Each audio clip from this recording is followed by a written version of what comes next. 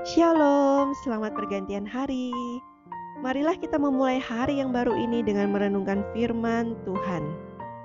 Renungan kita pada petang hari ini diambil dari buku Help in Daily Living, halaman 9 paragraf yang kedua.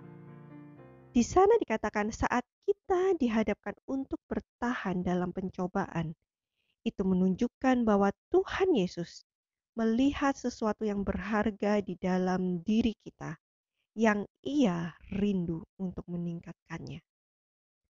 Artinya, ada sesuatu yang Yesus rindukan untuk kita tingkatkan saat kita bertahan dalam pencobaan. Apa yang harus ditingkatkan? Untuk menjawab pertanyaan ini, mari kita sama-sama membaca dari buku Touch from the Mount of Blessing, halaman 10 paragraf yang ketiga. Di sana dikatakan bahwa cobaan-cobaan hidup adalah alat-alat Allah untuk membersihkan kekotoran-kekotoran dan kekasaran-kekasaran dari tabiat kita. Penebangan, pembentukan, pemahatan, pemolesan, dan pemelituran adalah suatu proses yang menyakitkan, sukar, untuk ditekan ke roda asahan. Tetapi batu itu dipersiapkan untuk mengisi tempatnya dalam bait suci surga. Kepada bahan yang tidak berguna, Tuhan tidak melakukan pekerjaan yang demikian hati-hati dan teliti. Hanya batu-batu berharganya yang dipoles agar dapat membentuk sebuah istana. Jadi kutipan ini menjawab pertanyaan, apa yang harus ditingkatkan? Yaitu tabiat kita, karakter kita. Itulah yang Tuhan rindu untuk bisa kita tingkatkan sehingga karakter kita serupa dengan Kristus. Mari kita telaah lagi bahwa cobaan-cobaan yang terjadi dalam kehidupan kita ini adalah alat Tuhan untuk apa? Membersihkan kekotoran dan kekasaran dari dari tabiat kita. Dan prosesnya itu menyakitkan. Ditebang, dibentuk, dipahat, dipoles, dan dipelitur. Dan hanya batu-batu berharganya yang bisa ada di dalam kerajaan surga. Jika hari ini kita berdoa kepada Tuhan, Tuhan, saya ingin menjadi orang yang sabar. Saya tidak ingin menjadi orang yang mudah marah.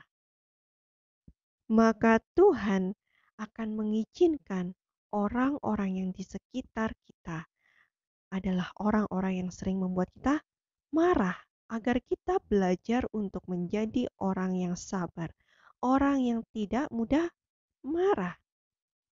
Sama seperti di dalam kita sekolah.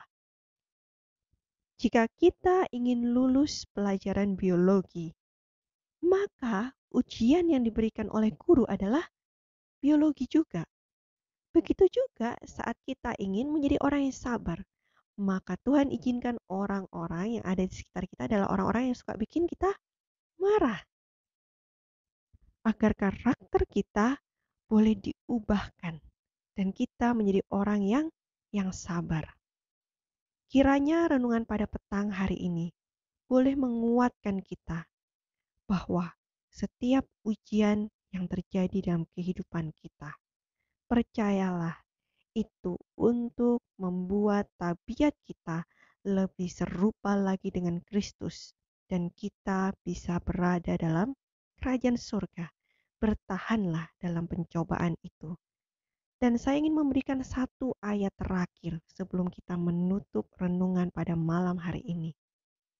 Di dalam Yakobus 1 ayat 12 dikatakan, Berbahagialah orang yang bertahan dalam pencobaan.